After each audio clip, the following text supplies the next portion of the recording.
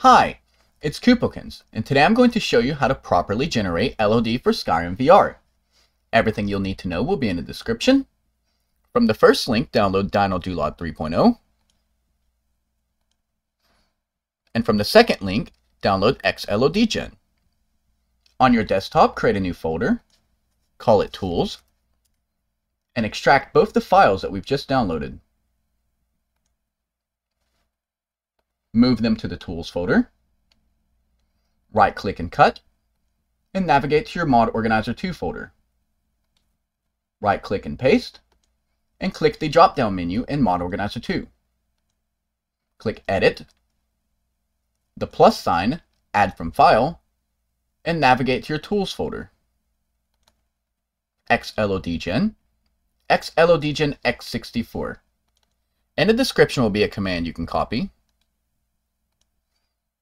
We're going to paste it in Arguments, and check the Force Load Libraries box. Add another executable. Back to the Tools folder, DynoDoLOD, DynoDoLOD X64. For its argument, we're going to type hyphen TES5VR. Check the Force Load Libraries box and add another executable. TexGen X64 and give it the same argument. Hyphen TES5VR. Check the Force Load Libraries box and continue installing the mods in the order that I do. Download the third version of scripting utility functions download the full extended version, the resources, the scripts, the plugin, and finally FPS Stabilizer, which is required to see your LODs from far distances.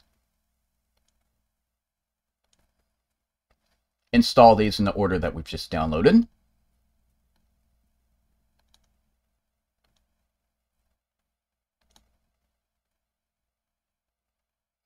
Select Next and do not check any boxes.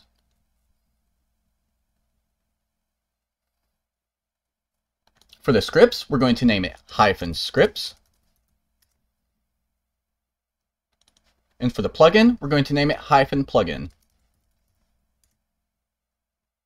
The FPS stabilizer, we're going to select low with shadows, next, and no, I'm using Open Composite, even if you aren't. Install and enable all these mods. Now we are ready to build our LODs. In the drop-down menu, click XLODGen and run.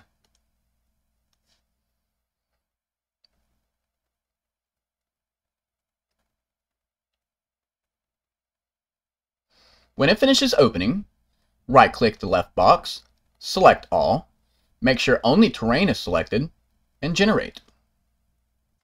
When it's finished and you see LOD generation complete, we can close this window, create a new folder on our desktop, call it mods, open our C drive, and drag the LODGen output folder to the mods folder.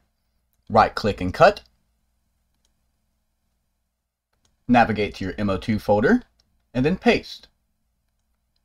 From here, click the wrench icon, and refresh. Uncheck the LODGen resources. Do not skip this part. And then check the XLODGen output. Now we can open up TexGen64 and click Run.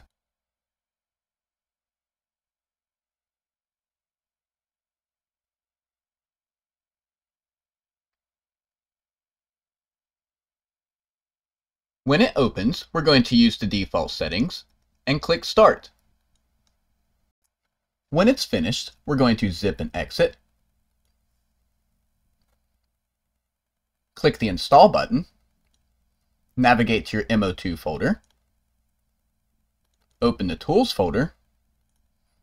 DynoDoLOD. TexGen Output. And double-click the zip file. Click OK. And then check it. Now we can open DynoDoLOD 64 and click Run.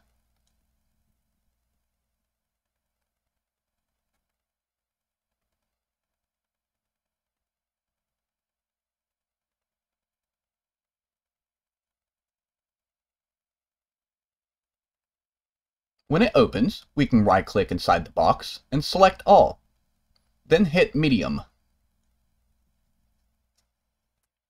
When it's finished, we'll save, zip, and exit.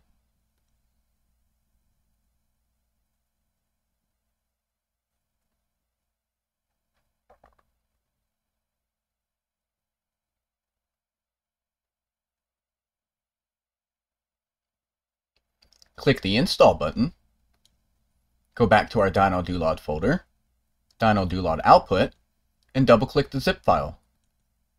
Click OK.